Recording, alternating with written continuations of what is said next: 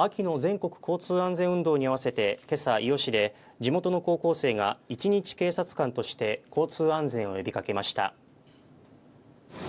交通安全運動を行っております。交通安全交通安全に気をつけてお願いします。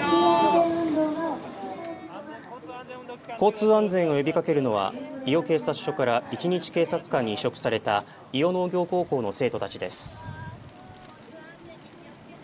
生徒たちは今朝警察署前の国道56号線に立ち手作りのクッキーやチラシを配って信号待ちのドライバーに安全運転や早めのライト点灯などを呼びかけました。自分もよく自転車に乗るので、まあ、ちょっとこの活動を通してまた気を引き締めていきたいなと思います。伊予署管内では今月4日国道で車同士が正面衝突する事故が発生し1人が死亡しています。